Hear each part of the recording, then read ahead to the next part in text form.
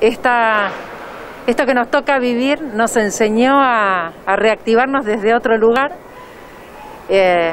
extrañamos las movidas en los bomberos, pero bueno, de a poquito y con cuidado hemos logrado hacer varios envíos. El último fue hace dos días, así que está navegando ahora un contenedor de 40 pies cargado de gestos de amor y solidaridad. ¿Cómo es en reciclar papel y tapitas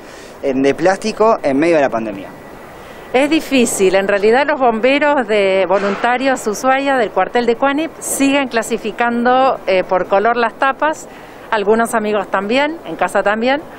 porque es algo que hay que dejarlo unos días, después podemos tocarlo, o sea, desconocemos tanto que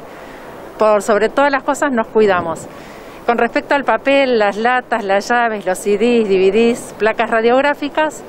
yo destino una o dos tardecitas a la semana en un depósito y ahí voy eh, con mucho cuidado recepcionando, la gente lo apoya sobre pallet o adentro de bolsones y días posteriores a puertas cerradas voy a clasificar el papel por calidad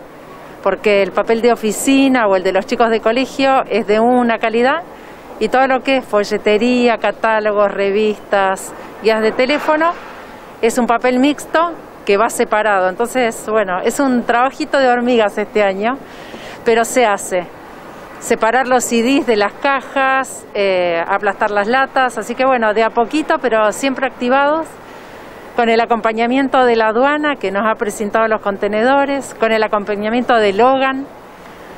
de Patagonia Shipping Line, que bueno, nos donan el viaje y los contenedores, de Arbué, que son los estibadores, que hacen la carga también en forma solidaria, de Casigma, la empresa que los espera en Buenos Aires para llevarlos hasta la fundación, y de dos despachantes brillantes, con un cambio ahora en plena pandemia, así que Gabriel Condorín, nuevo despachante voluntario, pero con esto, con decir que con costo cero y con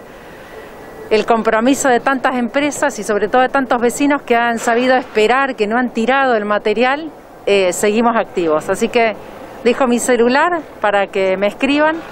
Yo estoy trabajando, pero siempre en algún momento del día contesto. Es 2901 60 87 80. Así que la idea es que se comuniquen, que sigamos activos, que si me olvidé de alguna empresa de nombrar, perdón, pero que si hay algo de lo que me siento orgullosa es que Ushuaia sigue muy activa con el programa de reciclaje y medio ambiente pero por sobre todas las cosas trabajando con mucho cuidado, bastante en soledad, agradeciendo a la familia y amigos que ellos están, que, no, que nos turnamos para ir un día uno o otro día otro, pero que estos elementos son recursos, esto se convierte en dinero para la salud, que no es parte del relleno sanitario, que planeta hay uno solo, así que depende de cada uno de nosotros cuidarnos y cuidarlo.